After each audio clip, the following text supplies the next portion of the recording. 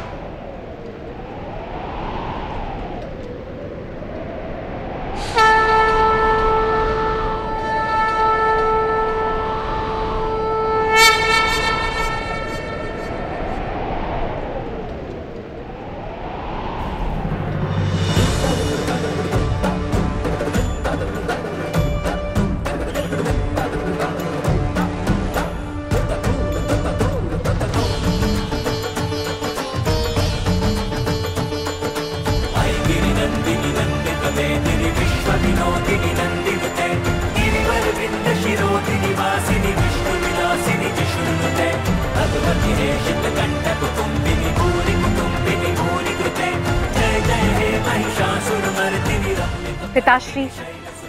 मुझे आपकी स्वयंवर की शर्त स्वीकार जो मेरा गाड़ा ये त्रिशूल उठा पाएगा वही सती का योग्य वर होगा